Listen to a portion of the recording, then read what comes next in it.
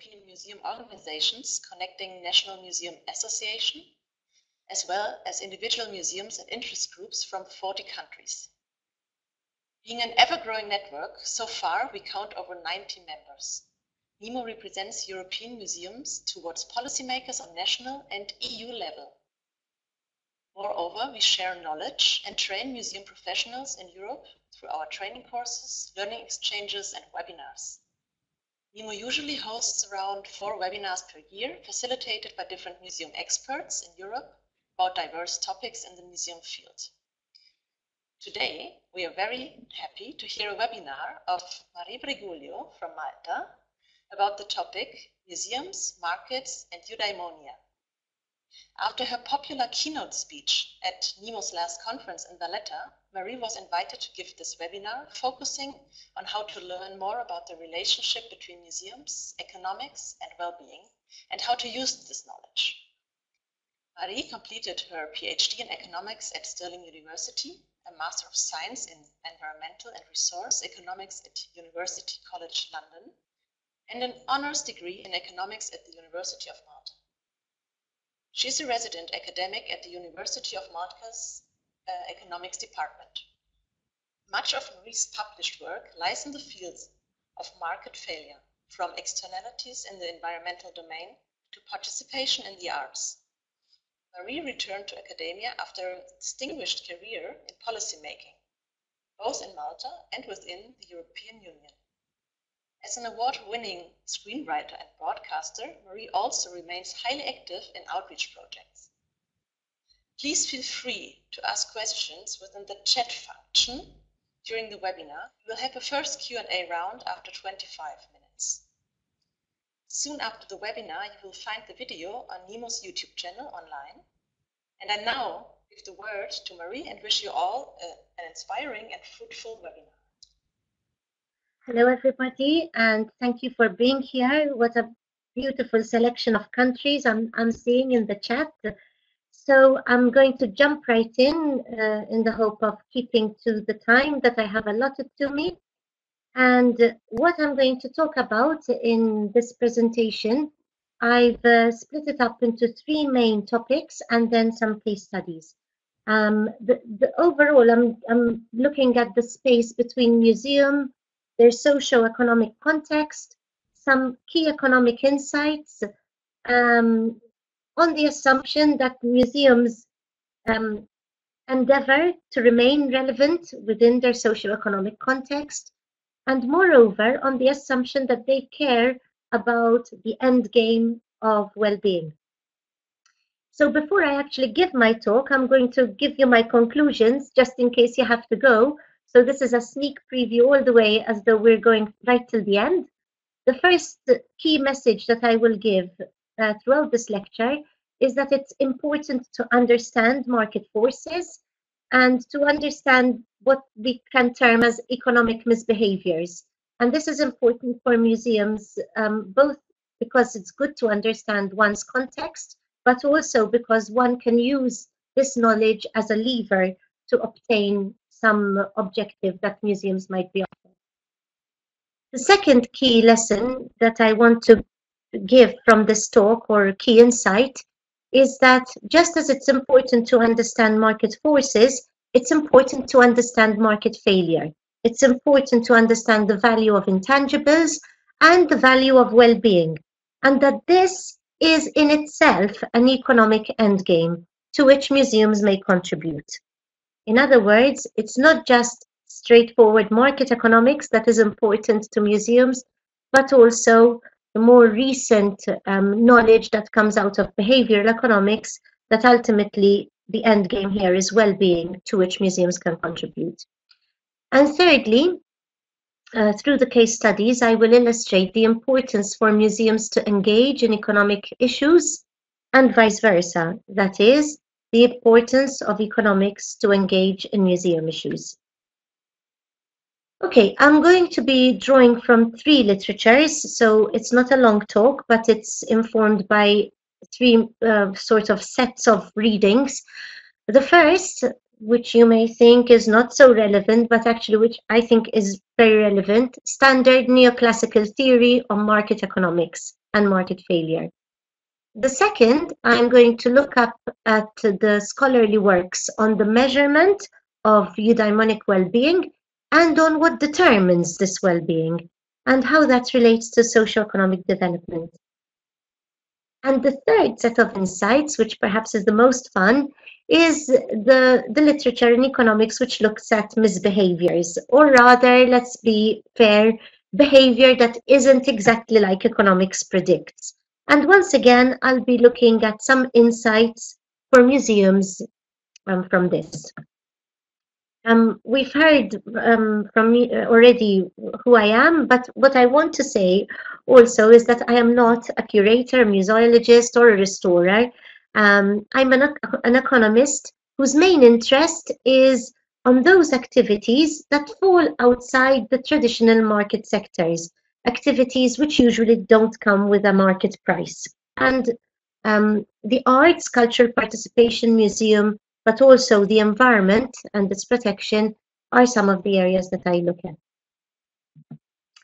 So let's start with museums. And because this is not where my forte is, I have only one slide to talk about museums.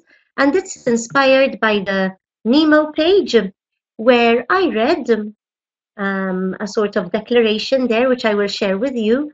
Museums and their missions, responsibilities, and their modes of engagement with communities are in a constant process of transformation in response to social and economic developments at local, national, and global level. There is a need for museums to stay relevant and to be responsive to social and environmental issues.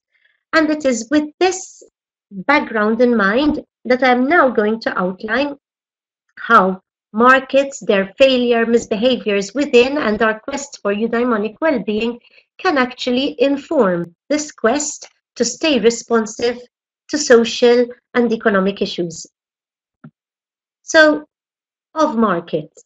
And this is what I'm going to do in the next few minutes is uh, something like a crash course in essential economics or economics for the non-economist. And from this, I have tried to synthesize what I think are the most important, let's say, insights for people working in policy or in the management of museums. And these are them. My first insight is that when we're talking economics, the subject of economics is bigger than just what the economy is and does. So I often hear comments like, ah, you know, the economics or economics is terrible for museum, it's just about money and so forth. What people sometimes make confuse is what they observe in the economy, what's happening out there, ruthlessness, perhaps greed or profits or so forth, with economics, which is the study of how to assess what's going on and how to intervene in what's going on.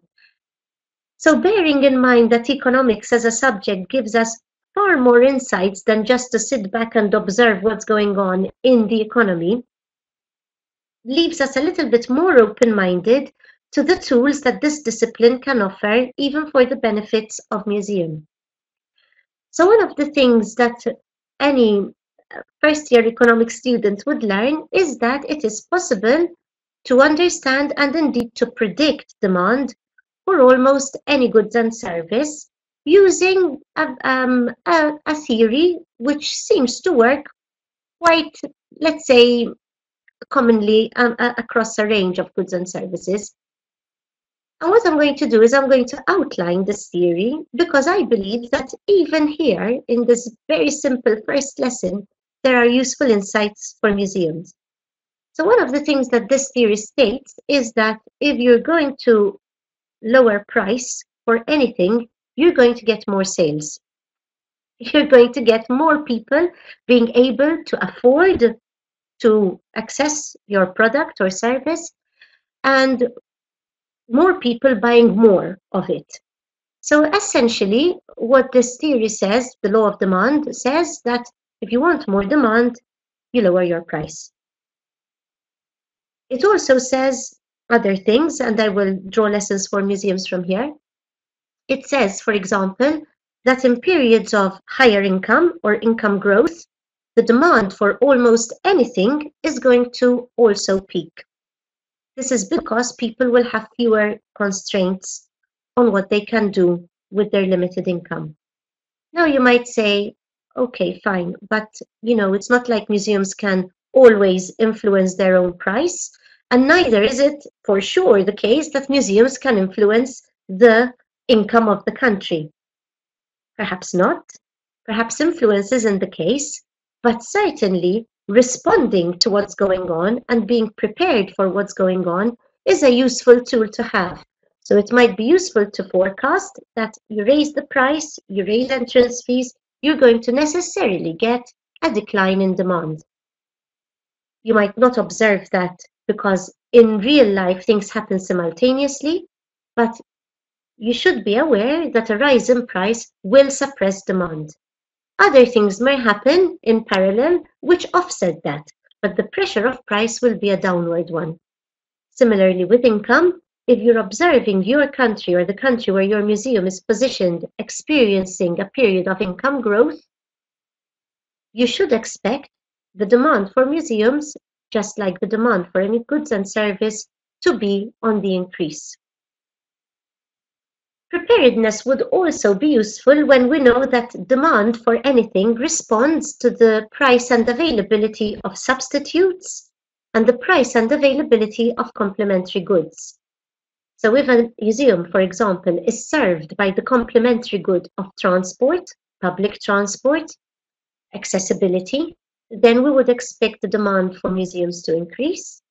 And by corollary, if the museum is positioned next to competing goods and services, or if permits, for example, land use permits, development permits, are given for competing goods to be positioned near a museum, then it is likely that the museum will experience a decline in demand, which kind of suggests to museums that it may be a good idea to remain vigilant on the goods and services that are offered um, close to uh, when I say close to, I mean in the proximity of your museum. Finally, we also know that demand depends on consumer preferences, their tastes, their education level, their awareness, which kind of speaks to the possibility that what's going on in other domains like education and marketing can also influence what happens in the domain of museums. Now I will recap on this at the end of this slide, but for the time being, just let's explore the notion that very standard economics already has some lessons to offer to us as people working in museums.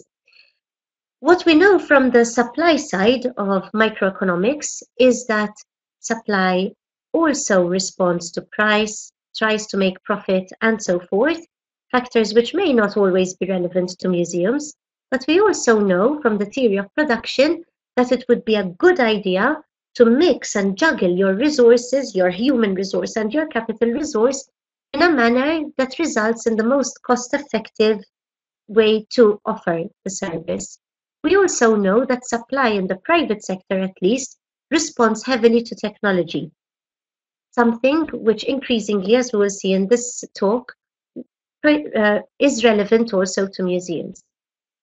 Finally, to cut a long story short, we know that with or without government intervention, markets will somehow find a way to work, not always to the benefit of society, but they will just do it.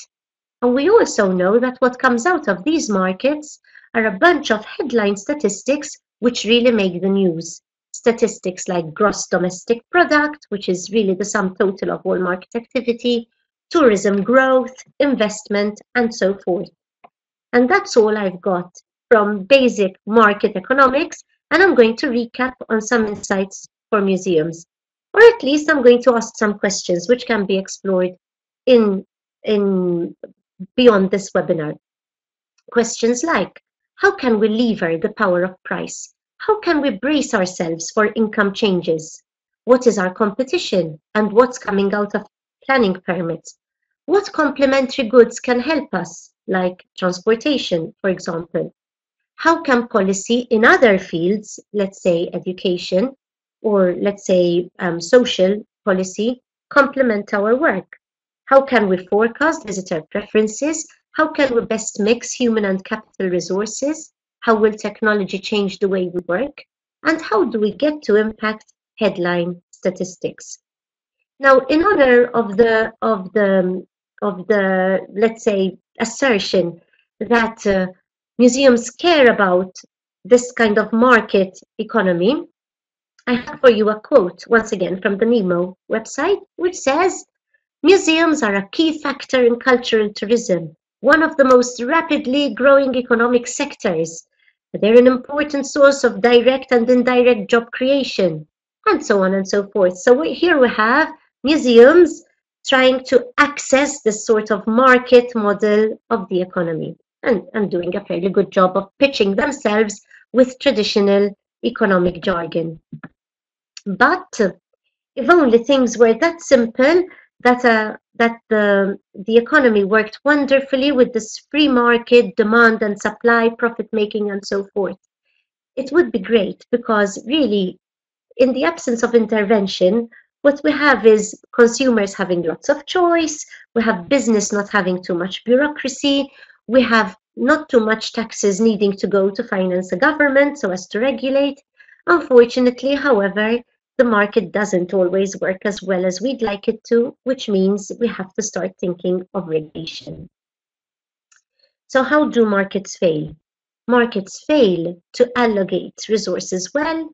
GDP fails to account for what we're doing in terms of whether we're doing well or not. It fails to really account for well-being. And the assumption that people are rational consumers and producers are rational profit makers sometimes fails as well. So let's explore these one by one and see what that says for museums. First of all, the first insight is it's a little more complicated than just trying to understand the theory of demand and supply. Let's examine market failure. So one thing we know, and people familiar with working in the arts will understand this very well, is that price or what goes on in the market doesn't always reveal people's preference for intangibles. You may not always be able to buy that which you enjoy. Markets also fail to provide public goods, those kind of goods that nobody can make profit from providing goods like gardens, goods like museums, goods like landscape, um, protection of the environment. They also fail to make polluters pay. They fail to signal the damage that certain activities have on goods that we enjoy commonly. Now, it's quite simple why markets fail to do this. And the reason is that many of these um, common property goods don't have an owner by definition. And so there's nobody making the polluter pay for that kind of damage. And of course, we've known for a long time that markets by themselves don't really care about inequalities. That's government jobs. That's government's job. So if markets are this um, inept at addressing certain things. They're particularly inept at addressing the issue of intangibles, public goods, merit goods, and externalities. They're also inept at addressing inequalities. What insights does this give us as people interested in museums? Well, first of all, can museums help to reveal these hidden preferences and values? If the market can't do it through the pricing system, can museums do it through mechanisms that help people express their preferences? Now, we generally express our preference in the market through a very simple action. We buy stuff. But can we express our preferences for art, environmental quality through the stated word, through our presence, through our footfall, through our voice? Furthermore, if economics itself acknowledges that there is such a thing as a public good, that the free market economy fails to provide for it, but that it nonetheless is an economic function, why don't museums perhaps not focus so much on positioning themselves as a private good, but rather just focus on this very meritorious function that they have as a public good. Thirdly, given that we are now increasingly worried in economics about these spillover costs, these externalities which polluters don't pay and which cause a reduction in well-being, can museums perhaps focus increasingly on reducing their own spillover costs? Their transportation, externalities, um, perhaps uh, their uh, travel costs, any pollution that they might generate. More ambitiously, can museums help resolve market failure by addressing spillover issues more generally, by documenting this, by showcasing this issue, by talking about this? And of course, can museums help to mitigate the inequality that markets um, impose or that markets rather, I wouldn't say markets impose inequality, but markets don't really care about inequality. Can they do this by having pricing mechanisms which are fairer? And I think this is one area where museums are already quite active in the market failure field because you do see price mechanisms which are, let's say, cheaper for the elderly or for children or uh, all sorts of pricing mechanisms that are somehow um, designed to cater for inequality. Now we see examples of museums positioning themselves as the public good rather than a private market good. For example, here's a quote once again from the NEMO website, which says, museums are institutions offering formal and informal learning to people of all ages. They're clearly positioning themselves in the public good sphere. And here again, the aim of to highlight value of museum to society by contributing to agendas on health, social justice, poverty, and so forth. Okay, so I take a quick breather and I take you through what we know now about eudaimonia and what this has to do with it.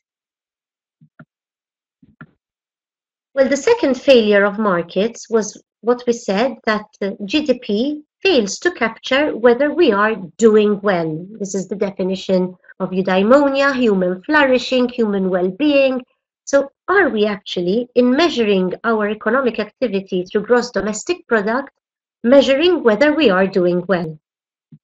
Well, I suppose you can guess that the answer is no, because if GDP measures the sum total of market activities, then it's failing to capture intangible goods and bads, depreciation of our natural resource, inequalities, and so forth. Now, there's a bunch of more complete measures than GDP, measures like the Human Development Index. The OECD has a, a, a, a suite of, of measurements. Canada is one of the most advanced countries in measuring beyond GDP. But one measure that I'd like to tell you about also, because if I'll have time, I'll show you a study on this of my own on this, is the measure which simply tries to assess a country's uh, extent of well-being not by trying to measure the market, not by very fancy studies, but simply by asking people, how well are you doing? And this type of measurement has achieved a lot of traction in economics. In fact, it's also achieved a lot of interest in the media. So we see a lot of headlines about Malta ranking this way or that way or some other country. Eurostat has these headlines, Gallup has these headlines and so forth so that you can get a better feel of what this kind of study involves. As a question, uh, it would ask people something like this. On a scale from 0 to 10, how well do you feel about your life at the moment? Or how good do you feel? Or how satisfied do you feel with your life? And so forth. Typically, people report this kind of histogram. Most people are happy seven or happy eight, fewer happy six or nine, and the problem areas which we need to address are the ones that are happy between zero and five. Now, what we know about what matters to well-being, and this could be a sort of agenda or a checklist of what museums could get involved in if this is what they're interested in, um, we could look at income, And we know, of course, that that matters. That's what GDP is all about. That's what the free market is all about. Surprisingly, it doesn't matter as much as we thought it did. Employment matters a lot. Health matters a lot. And mental health matters a lot, as does sport. Social interactions, so the possibility for people to interact with one another, the quality of the environment, trust in politicians and political interest and religion. And these are all factors which can populate an agenda for the museum interested in being relevant to well-being. Other factors which are perhaps less of an agenda, but just more of a for information, age, gender, having children, one's marital status, and personality. Good news for museums and the cultural sector in general is that studies increasingly find that cultural participation itself, and indeed volunteering, can contribute to a better well-being. The kind of studies we do in order to parse out the effects of all these phenomena involve some mathematics and some statistics. Probably some of you are reeling in horror upon seeing an equation uh, for happiness. But if you want a simpler rendition of that, you could say that happiness is a function of money, employment, education, health and exercise, freedom of speech, and spirituality, the quality of the environment, and the status of relationships, and so forth. So here's our conclusion from market failure. GDP measures markets, not well-being, but we do have measures that measure well-being. And if museums are interested in being relevant, perhaps it's time to not focus so much on GDP itself and contributions to GDP, but rather jump on this new bandwagon about uh, assessing well-being. Uh, and here we know that there are certain factors which matter considerably. Concretely, uh, we can see entities like the New Economics Foundation suggesting to governments to promote these types of activities, more exercise, more adult learning, improved emotional awareness. Please notice that all of these could be part of an agenda of what a museum also offers.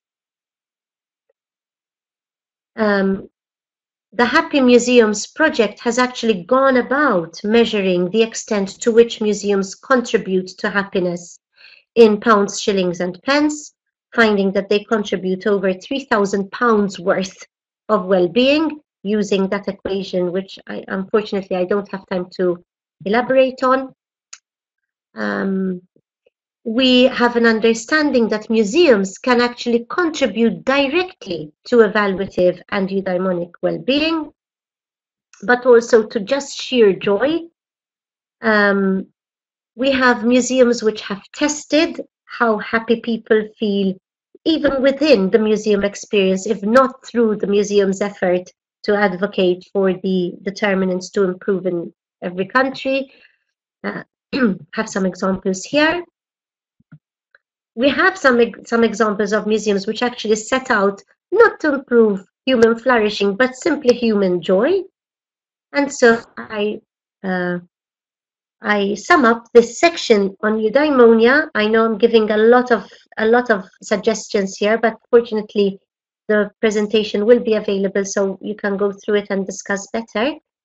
The questions we might ask are, how can museums enhance eudaimonia if this is indeed such an important agenda now? Can they improve it directly as they are part of the culture offer, which we know matters? Or can they also influence the other variables human health, socializing, um, speech, and so forth, that we know also affect well-being. Can museums measure their impact on well-being? And we have some museums trying this. Can museums talk of well-being itself? And can't this be seen as their economic contribution? Recognizing that I should be stopping for questions, I'm just going to rush through this last section and then let you have questions after that. I promised to speak a little bit about misbehavior, and I also told you this is the most fun part of, of the talk, at least for me. So we kind of assume, as economists, or assumed that people would make rational decisions. This doesn't always happen. People tend to rationalize or stop and think about their costs, benefits, present and future. Not all the time. I'll give you an example of what it feels to think about costs and benefits and what it feels to think about intuitively. On the one hand, you've got a smiley face, which is something your brain kind of absorbs intuitively. You understand that's a smiley. On the other hand, you've got 24 times 18, which obliges your brain to think and rationalize, and which is how we often imagine people to be functioning as economic creatures. Well, the truth is they don't, at least not always.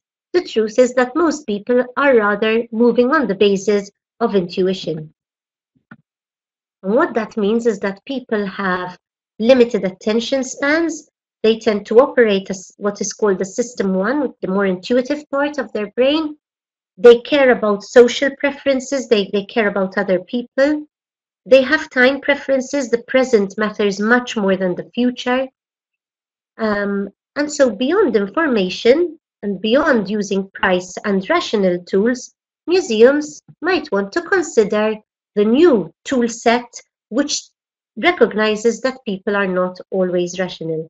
These tool sets are called nudges and they involve the deployment of norms, showing people what other people are doing, and salience, the use of primes, so facts like a warm cup of tea, or nice smells, or nice sounds, emotion, commitment devices, so telling people to commit themselves to say visit or whatever, and default options, so putting people where you want them to be by default and giving them the option to opt out. That normally means that most people stay where you put them. Because life is more complicated than we predicted as economists, we might also want to test our interventions to see how real humans and not just rational humans function. I have some example here of museum uh, or a museum app that is using social norms, so not information based on what's inside the museum or how important or relevant this is to the arts, but rather who's in the museum because that's what people, well, that's one of the things that people care about. Season tickets, work to commitment devices, coffee, visibility in the street, not just on the side and not just in information leaflets and so forth. Malta Zone Musa has a has a an example of this with its taste history in um, initiative, where people experience parts of our history through the food that we used to eat. To recap, and now it's time to ask questions before I proceed, we take these lessons. We need to understand the market, to work with it. Remember that incomes, tastes, competition, substitutes, and so forth will matter. We also need to understand that it fails and to position as the public good. We also need to value intangibles. Um, insights from eudaimonia it's possible to measure it. It's possible to work to enhance it. It's possible to enhance it directly as a cultural offer, because we know that matters, and indirectly through advocacy by working on the other aspects of the determinants of eudaimonia. It's possible to consider it in collections and to consider it as the economic output of the museum and not just the GDP output, but we work directly towards what, after all, well-being is uh, what, after all, GDP is trying to promote itself, which is well-being. We, the museums, promote that directly.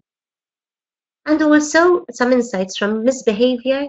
It's good to understand that people are not always rational. It's good to nudge it using instruments that go beyond price and information, particularly important to test it and to communicate for it.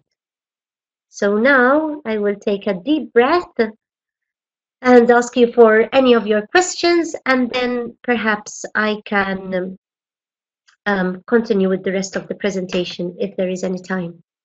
So um, I'm seeing a big chat here full of questions. Do you have concrete examples of museums that have launched successful initiatives to reduce spillovers? Do I have any more questions than this? I have a lot of hellos from a lot of countries. Okay.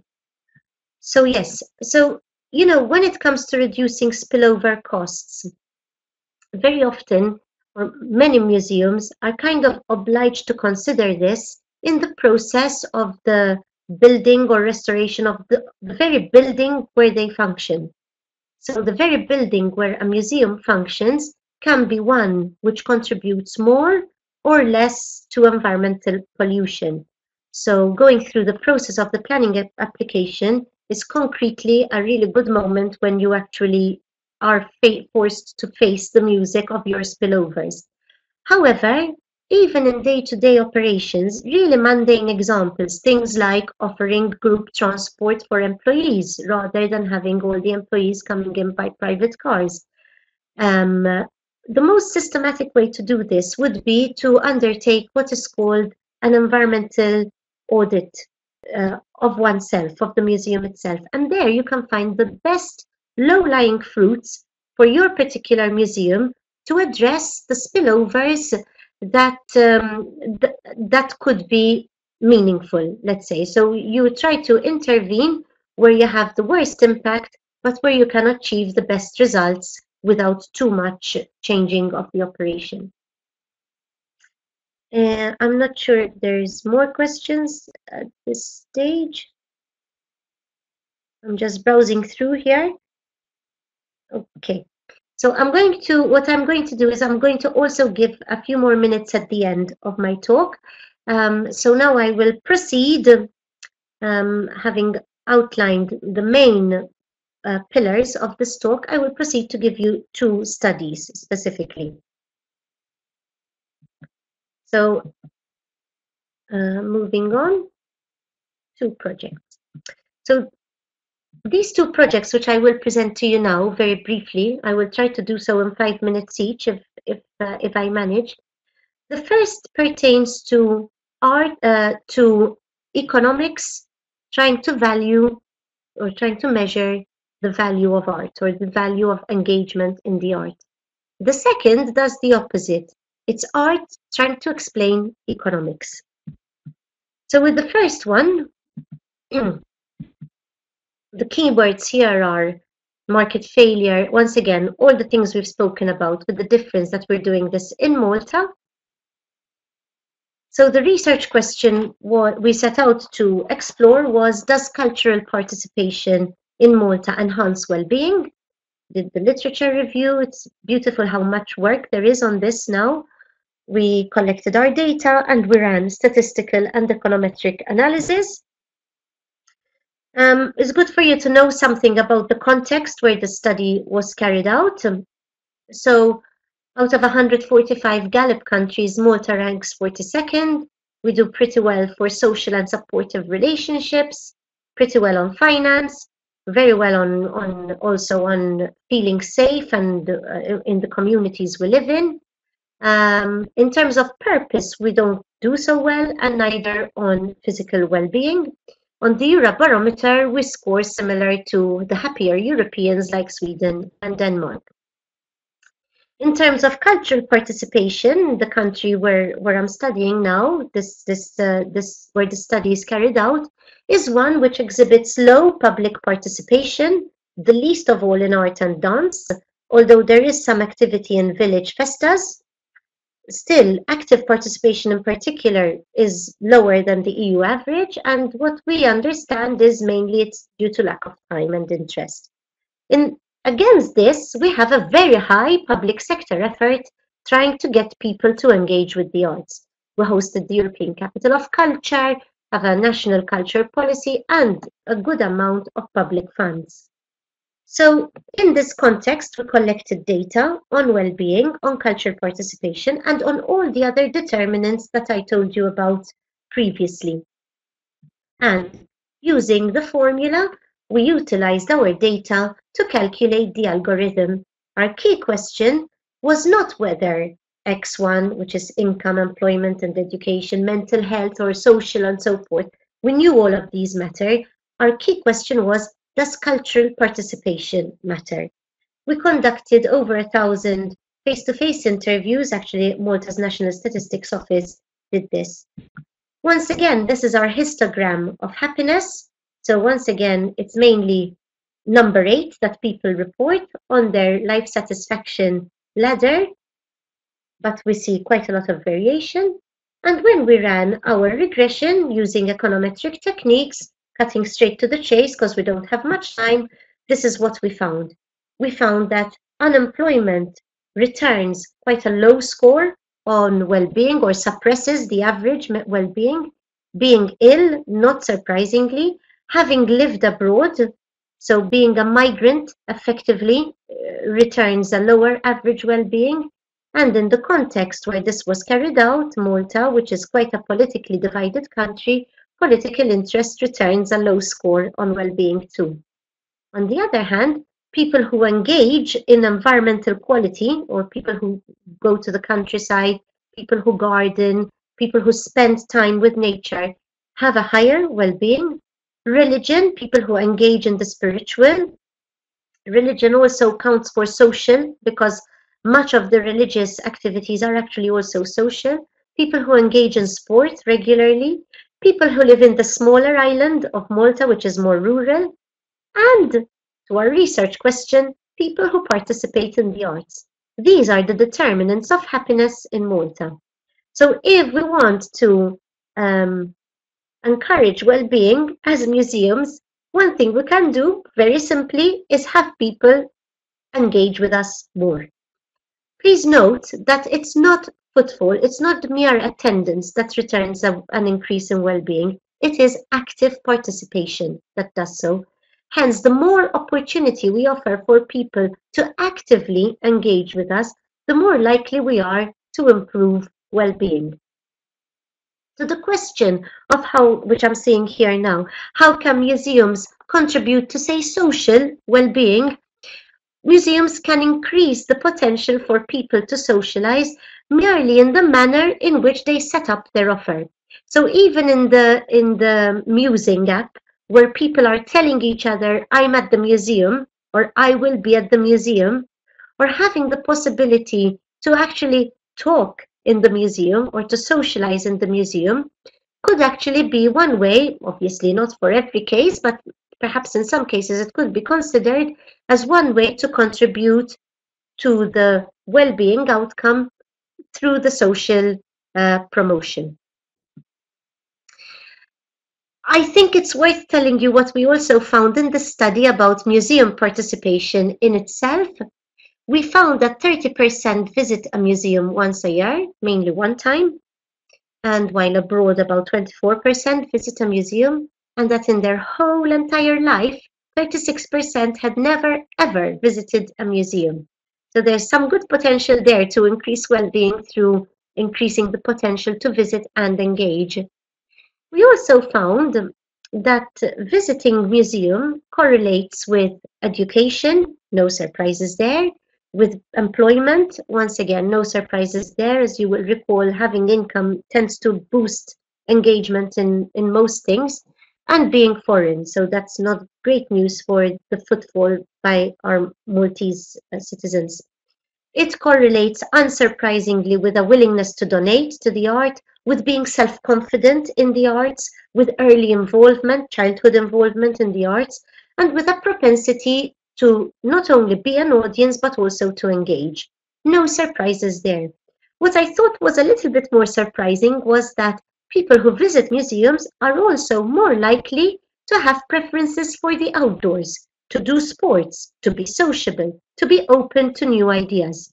So this kind of social demographic profiling which goes beyond their preferences for the arts, but actually tries to explore complementary activities, I thought was quite interesting. And once again, we conclude from this study that it is possible to measure well-being and participation.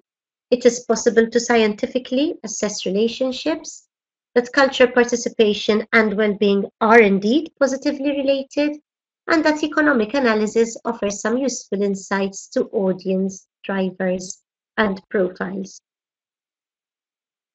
I'm vigilant to questions, so I'm seeing if there's anything I'm missing, but if not, I'll tell you few minutes. I know we started late, so perhaps we can end late as well. A few minutes on my art on economics project now. So this is an art uh, project that rather than focusing on how economics can valorize the arts, it has art talking about the economy. What we did here was we documented three decades of economic growth, three decades of environmental spillover, with three decades of cartoons. And they're all collated in this book called No Man's Land, and we can, which you can access here on Kite Group.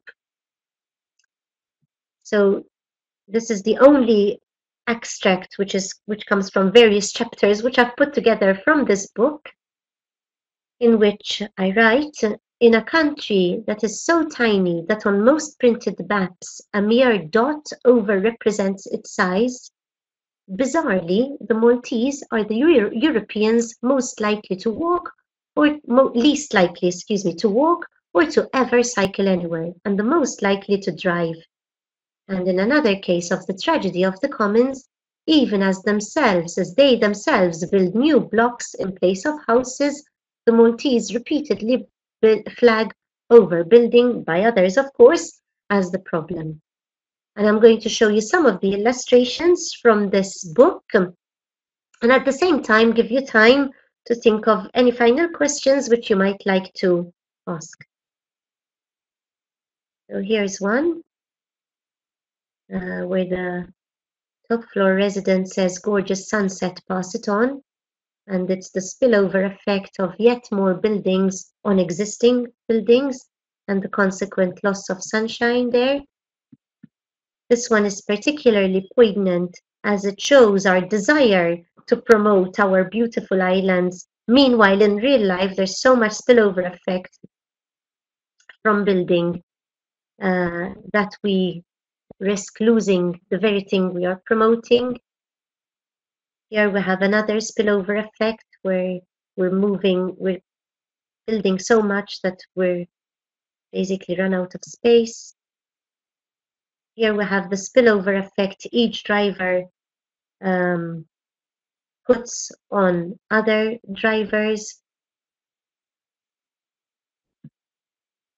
Here we have um, an economic activity that is very common, at least in, in islands like Malta, which is um, tourism, but uh, it's at Costa del Quick Buck, and so there's a lot of spillovers resulting in a reduction of well-being, though life's not really a beach. What I wanted to say about this endeavor is that in all the research that I've been involved in as an economist, never has anything received such attention. These are all the magazines, book fairs, television interviews, and so forth um, that this uh, this project has received, leading me to conclude that if art can communicate key economic issues and spillovers, perhaps museums can too. I come back to my first quote before this marathon hour of talking, which was that museums and their missions, responsibilities, and modes of engagement are in a constant process of transformation, and that there is a need for museums to stay relevant and to be responsive to social and environmental issues. Um, this is indeed an important agenda for museums, and I recap by showing you, as I promised at the very start of this talk, the lessons or the insights that I said I would uh, conclude with, which are for museums, it's important to be vigilant of market forces and to be informed of this phenomenon of misbehavior, both to inform the context and to lever it. Markets fail, intangibles matter, and well-being is the economic endgame to which museums may contribute. And it's important or useful, or at least I think so, for museums to engage in economic issues and vice versa. So with that, I'll leave that slide there. I believe we have a few minutes for more questions. There's a technical question from Baku, Azerbaijan, Is there multicollinearity possibility in the relationship between well-being and cultural activities? Well, you know, the, the process of, of understanding how one factor contributes to another is not a simple process and there's plenty of tests and also plenty of caveats when we when we do such studies there is collinearity but when we run a multiple regression we try to parse out the effects of every single component to give you an example it may be that people who attend cultural activities are happier not because they attend cultural activities but because they are healthier and able to attend cultural activities. So to parse out that effect, we control for the health effect too. Um, do you think museums on web are interested in well-being? I'm not sure what to make of that question. I think that I'll turn that question around a little bit and say, I think that well-being is an agenda that is increasingly important, particularly in countries where income objectives have been met. So now we're trying to aspire to a better state of human flourishing. Nice question by um, Melissa, Lucia Diaz, and she asks me, um, cultural participation is a determinant, but what about the determinants of cultural participation itself? Indeed, that might be the best way to start if we want to promote participation, then we need to understand what propels participation. And the first clue, which I would go to as an economist, as mentioned earlier, is the theory of demand. So what do we know about what propels the consumption or the participation in anything, really? So we know that it's a factor of tastes and preferences, complements and substitutes, income and prices. But of course, we can unpack those even further and we can ask ourselves, why do some people not have a preference for cultural participation? Why do uh, complementary goods like transport not offer um, the facility to access uh, culture? So we do know quite a lot actually about the determinants of cultural participation. Sometimes these are proxied by demographics, but if you want to go back to the sort of principles of what um, determines participation, I think the simple way to look at it is enablers and barriers. More enablers and less barriers would probably enhance cultural participation. Simona asks me, how can museums promote social and psychological well-being? I think I have answered that, but just by way of um, concluding, I think that the first thing that can be done is to think of the prospect that this is an important agenda and therefore to design not just advocacy and not just the sort of the impact of museums or the negative impact of museums on their spillovers, but the actual offer to think and consider how can we contribute to psychological and social well-being? How can we tweak our product? How can we conceive of our product in a manner that reaches this objective? Of course, if this objective forms part of the museum's intent. So Mira's asking for the last question.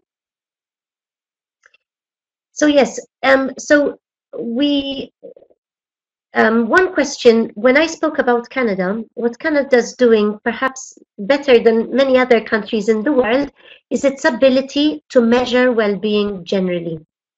So um, there is a capacity in Canada through its national accounts to measure not just GDP, but the various domains that contribute to GDP. And when your country has that headline statistics as the key statistic that it promotes, that should spill down into policy, into the offer, into the public good, and into what gets rewarded as contributing to the agenda of our people doing well.